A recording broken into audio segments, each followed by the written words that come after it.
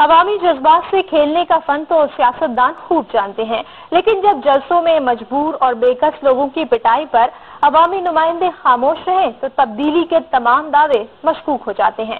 खुशाब के जलसे में नवाज़ शरीफ के सामने पुलिस अवाम की धुलाई करती रही, लेकिन लीगी कायद कौम को बेहतरी की नवीज सुनाकर रुखसत हो गए। रिपोर्ट करेंगे लाहौर से कमर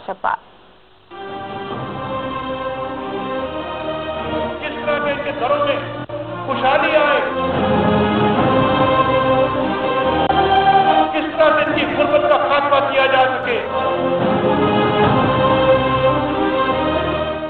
ये मनाजर है मुस्लिम लीग? नून के जलसे में सरकारी अस्पताल के चौकीदार मोहम्मद असगर और उसके अहल खाना से होने वाली ज्यादती के, जिसकी पाँच बेटियाँ गजाला, रेहाना, शुक्रिया, रुखसाना और बुशरा एक अजीब बीमारी का शिकार होकर बिस्तरे मर्ग पर हैं। लेकिन बाप तो आखिर बाप है। जो सरकारी खर्च पर इलाज की उम्मीद के साथ उन्हें लेकर नवाज़ शरीफ के जलसे में आ तो गया, ताहम पुलिस के हाथों ऐसा रुसवा हुआ कि जलसे में शामिल दिगर अफराद की आँखें नम हो गईं, लेकिन अवामी नुमाइंदों के दिल मोम न हुए।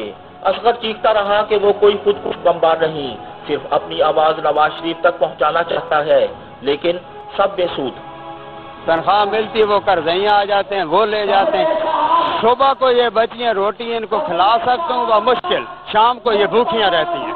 और मकान मेरे मकान की वो हालत है कि उनका छत गिर रहा है। हमारे अबू से छह सात लाख रुपया कर्जा।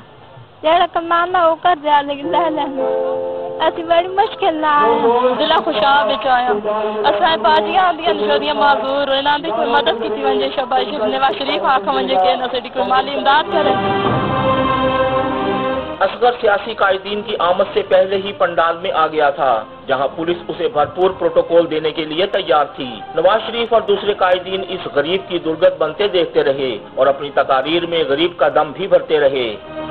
आज मैं यही सोचता रहता हूँ, ये महरूम बच्चे, ये बेचारे नौजवान जिनके चेहरों पे आज खुशियाँ होनी चाहिए थी, उनके चेहरों पे दुख और अफसोस और गम है।